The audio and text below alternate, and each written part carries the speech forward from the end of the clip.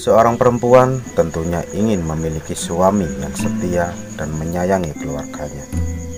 Iya, wanita mana sih yang ingin ditinggal suaminya? Pastinya ingin punya rumah tangga yang selalu rukun, harmonis, dan selalu dicintai suaminya. Hanya saja, terkadang tidak semua suami sering memuji dan merayu Anda dengan kata-kata manis. Namun, ketika sudah hidup bersama selama bertahun-tahun, bisa jadi dia mulai berubah. Entah mungkin karena dia sudah bosan dengan Anda atau memang Anda sudah tidak menggairahkan lagi di mata suami Anda. Ya, maka dari itu di sini saya akan berbagi amalan untuk mengijazakan buat Anda semuanya, khususnya buat para istri-istri agar pasangan Anda bisa luluh hatinya dan semakin cinta kepada Anda. Namun sebelum lanjut video ini, bagi sedulurku semuanya yang baru menemukan channel ini, jangan lupa subscribe, like, dan komen. Jika ada pertanyaan, silahkan Anda komen. Insya Allah kalau ada waktu, pasti akan saya balas. Bismillahirrahmanirrahim Assalamualaikum warahmatullahi wabarakatuh bersyukur kepada Allah apa pun kondisinya apa pun keadaan anda sekarang ini kita sebagai hamba Allah kita wajib bersyukur. Alhamdulillahirrabbilalamin Alhamdulillahirrabbilalamin Alhamdulillahirrabbilalamin Senantiasa kita panjatkan puja-puji syukur kepada junjungan kita Nabi besar Nabi Muhammad Sallallahu alaihi wasallam.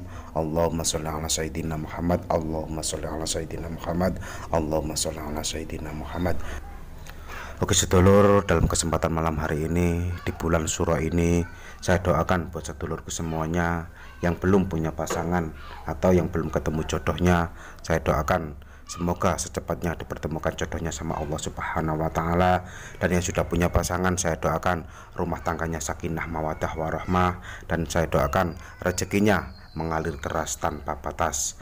Oke sedulur, dalam kesempatan malam hari ini saya akan berbagi amalan, yaitu amalan ilmu mahabbah buat nundukin orang yang Anda cintai, baik itu laki-laki maupun perempuan. Namun sebelum lanjut video ini, bagi sedulurku semuanya yang baru menemukan channel ini jangan lupa di subscribe, like, dan komen. Jika ada pertanyaan silahkan Anda komen.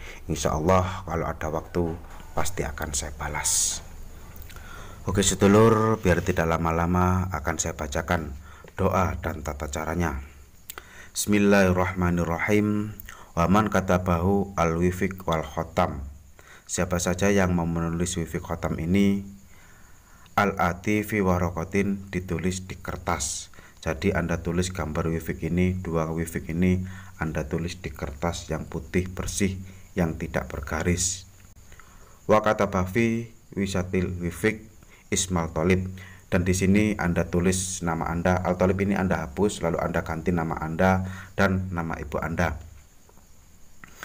Fi wasatil khotam al matlub watokahuma dan di sini Anda tulis nama target Anda dan nama ibunya. Ini Anda hapus. Saya bacakan dulu semuanya nanti saya jelaskan.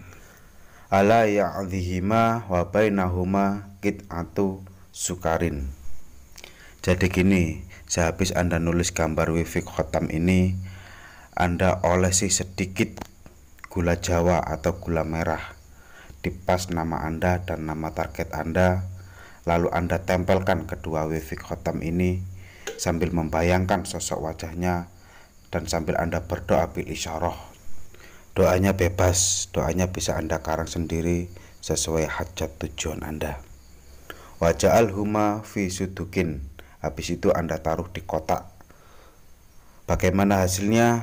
Roasiron ajiban. Rahasia keajaiban keajaiban keanehan keanehan. Anda akan bakal melihat keanehan keanehan dan keajaiban keajaiban.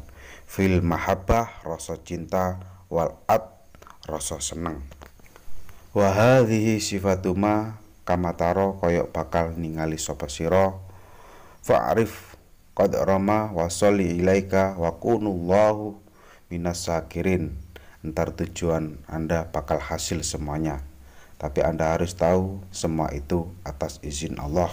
Oke sedulur untuk doa dan tata caranya saya cantumkan di kolom deskripsi. Anda baca lalu Anda amalkan. Insya Allah atas izin Allah orang yang Anda maksud orang yang Anda tuju akan segera luluh hatinya dan cinta kepada Anda Oke sedulur semoga bermanfaat. Barakallah, barakallah, barakallah. Ihdinas syuratul mustaqim. Assalamualaikum warahmatullahi wabarakatuh. Jangan lupa selalu bahagia